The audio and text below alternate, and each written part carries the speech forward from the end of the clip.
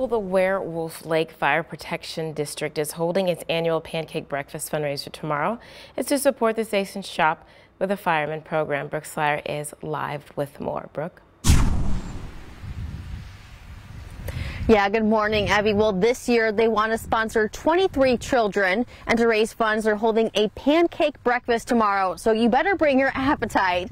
The breakfast will run from 7 in the morning to 11 in the morning. Of course, they'll be serving pancakes, bacon, sausage, and hot, fresh coffee to get your day going. Now, if the weather is nice enough, an Air Evac crew might fly in for a bite to eat. That'll be a sight to see. There's no set price for a plate of food. Instead, it's all donation based and what your heart tells you to give. All proceeds will go to the department's Shop with a Fireman program. Now, this program started seven years ago as a way to give kids in the area a special Christmas who otherwise might not get one. Last year, as a COVID precaution, schools provided a Christmas list, and firefighters did the shopping, wrapped the presents, and delivered them along with food baskets. This holiday season, firefighters will follow the same protocol to keep everyone healthy. Now, again, this pancake breakfast is taking place tomorrow from 7 a.m. to 11 a.m. and we'll go ahead and fund the Shop with a Fireman program. For those who want more information, it is on the station's Facebook page right here behind me. It'll also be on our website a little later today. But for now, I'm going to go ahead and toss it over to you, Nick, because I know that you are tracking the chance for severe weather. We've been talking about it for a few days. The uh, significant threat for severe storms coming up later on tonight. You can almost feel it when you step out this morning.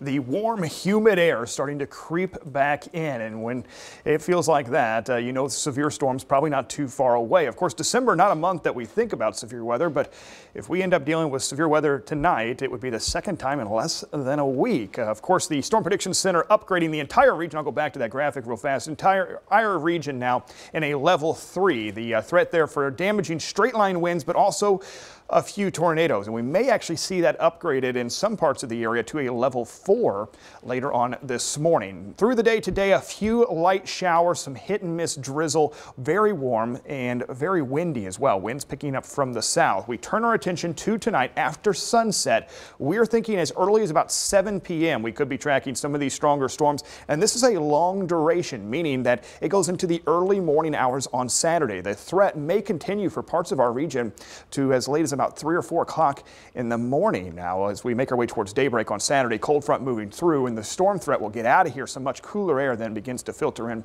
for the weekend. Uh, this morning, some fog out there, especially in some of the rural, more low-lying areas, and very, very warm for this time of year. 54 degrees. That is above our average high temperatures for this time of year. Dew points have been on the climb, so even if you haven't seen rain right now, it is warm, it's humid, the ground's still pretty cold. There's a lot of wet roads out there, a lot of condensation forming on some of those roads. Clouds, of course, overhead, a lot of low clouds. We've been tracking just a few showers. Looks like maybe a few of those crossing out of Union into Johnson County, so get ready over into Vienna. Some light rain showers moving your way, and then just north of Cape Girardeau and then back into northern Bollinger County.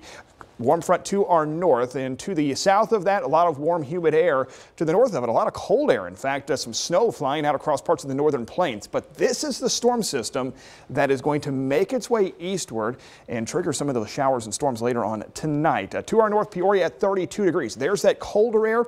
That's moving away from us. Warm, humid air pumping up from the south. To our south right now, Memphis, Tennessee, before 7 a.m., 60 8 degrees right now. So there is some very warm, very humid air to our south. Notice through the afternoon hours, just a few hit and miss showers, upper 60s for highs today across southern Illinois, lower 70s this afternoon into western Kentucky and southeast Missouri. I'm going to clear away the temperatures here so you can really see the radar. This is 7 p.m. Storms starting to develop in some of our western counties. And then as they continue to develop and move to the north and east, it's about 9 p.m. overspreading much of the region. Not everybody's going to see severe weather, but some of the strongest storms here by this point could be producing strong straight line winds, possibly a few tornadoes, and then that threat continues. This is 11 p.m. We're still having storms around. Even at 1 a.m., still some stronger storms moving through. By about 5 a.m., here's the cold front. The storms move east, the cooler air begins to move in, the severe weather threat gets out of here.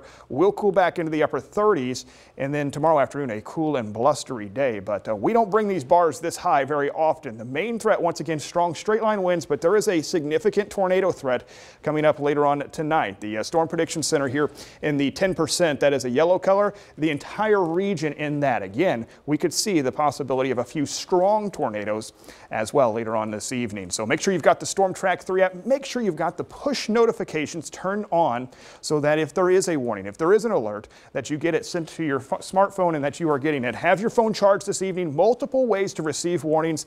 And it's not a time to panic, but it's a time to plan. Have a plan, know where you would go in case there is a tornado warning issued for your location. Make sure that uh, you know where you would go in your home. Maybe it takes you a little while to get someplace have a plan in place. All right, cooler into the weekend as the storms clear out, but uh, we'll bounce right back in the low to mid 60s towards the middle of next week with some more rain chances towards the end of next week. Of course, Evie, it is a Friday, which yes. means we are going to give away an umbrella. Heath, yes. you're our winner this week, and that's a great picture. Hey. Love the uh, two deer up there on the hillside that's and nice. sunrise yeah. or sunset. Great picture. Appreciate that one, Heath. Very nice. And going back to the storm threat there tonight, Evie, we, again, we don't want people to panic. Don't be sure. scared of this, but you need to plan ahead of time. Not everybody's going to see severe, severe weather, but those that do, it could be fairly significant.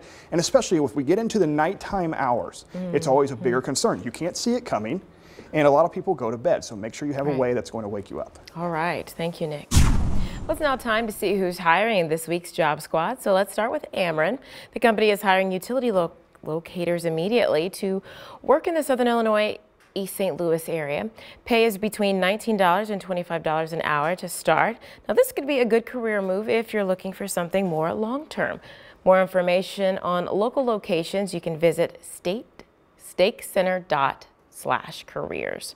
We also want to remind you of the job fair that's happening next Wednesday, hosted by Man-Tra-Con. It'll be at the Pavilion in Marion from 9 until 12. Dozens of local employers will be available. And lastly, WLC Management Firm is currently looking for a director of nursing in Franklin and Saline counties. The firm is offering a $10,000 sign-on bonus for this position. An RN license is required and the company is offering a benefits package. If you're interested, you can send a resume to info at WLCfirm.com or you can call 618 294 8696. And of course, all of those are on our website right now, so you can just click on the links and they'll take you straight there. And we're going to take a look at some more local stories after the break, but first, here's a look at what's coming up on GMA. Good morning. Coming up here on GMA, the fight against COVID. The CDC giving the green light to booster shots for 16 and 17 year olds. Boosters being approved for younger children next. This is as research is showing that kids under 18 are helping drive up cases right now. Some states running low on hospital beds. We'll have that and so much more coming up right here on GMA.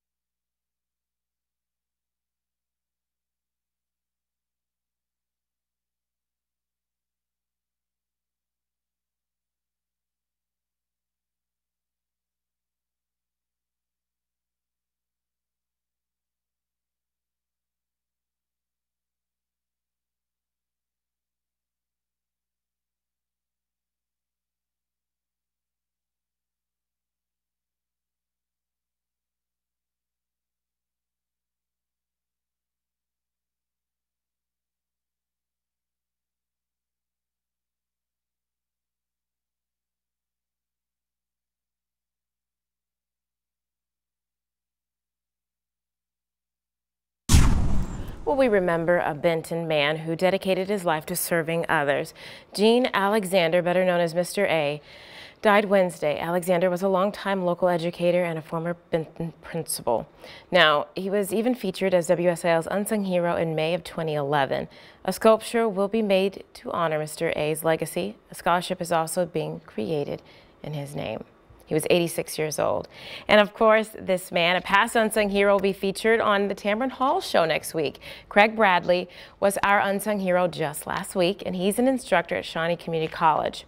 Before the pandemic, he joined a committee to create a student food pantry, which is available for students on a weekly basis. Now, Bradley regularly picks up food to help keep it stocked. You can watch Bradley's segment on the Tamron Hall show on Monday. It airs at 3, just before our newscast here on Channel 3.